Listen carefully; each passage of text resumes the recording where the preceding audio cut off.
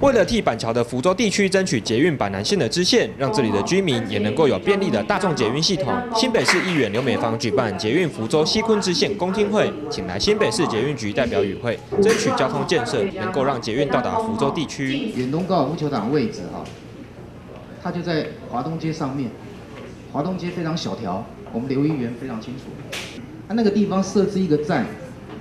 它的它的考量到底在在哪里？我完全没办法想象。为了加快捷运新建的计划，刘美芳议员建议捷运局将五股泰山轻轨延伸到福州地区。只是捷运局提出的五股泰山板桥轻轨路线图，让到场参与的里长还是觉得规划路线不够周延，顾得了福州地区，却是不顾西昆地区居民的权益。我们今天来看到这个公听会，就是争取板桥捷运福州西昆支线的公听会，但是阮无听到有有关阮溪昆的代志。好，那我们西昆的路线真的不晓得在哪里。那希望说下一次在开这种公听会的时候，把我们西昆的路线规划出来。早期他们在规划路线都会出来，什么路什么路去做评估，你们你们的工程财务才能够去评评估可行性，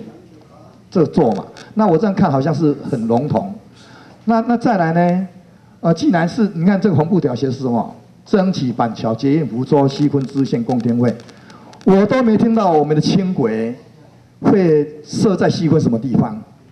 捷运局表示，西昆地区将会有万大线经过，倒是福州地区急需大众捷运系统。碍于现实层面的考量，其中包括跨越大汉溪的部分有一个福州桥，跨河的工程困难度非常高，捷运局不会延，目前还没有这项规划捷运支线的计划。还没有进到呃很细部的财务规划的这个阶段，就来听大家的意见来做报告，才会刚刚里长觉得说啊，好像没有很很明确的站位啊，没有明确的路廊，只是初步，但是也因为这样的方式，大家听取大家的意见来跟大后续的规划可以做一个考量，所以这个只是第一次一个开始。画大汉溪这个部分。又有一个福州桥，那大安溪福州桥有很多引道，那其实上跨河，那其实在河的两侧本来防洪的怕淹水啦，所以其实跨河本身就是工程困难度会比较高。如果捷运支线施工考量多，是不是可以改成轻轨计划来代替？捷运局表示将进行规划。另外，捷运工程要考虑的还包括财务、技术等等问题。看来福州地区的民众要好消息还要多等等。